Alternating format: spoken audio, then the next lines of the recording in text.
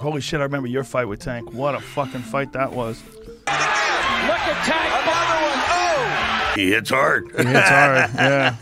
Yeah. Mm. Bare knuckle combat anywhere on the planet. Oh! I Tank. Both fighters are bloody. Tank goes down. Might have been a slip though. I don't know if right now or not.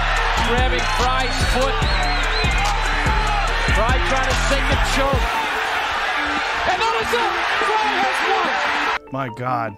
You know, and it didn't make uh, top 10 of the one round fights. Oh, I don't I have no idea why it doesn't. Well, it's because there's so many great fights. It's arbitrary who makes top ten, but I think it should have been in there. That was Uh, a classic. Nobody knows. Nobody knows anything about UFC 100 and be a war. You know?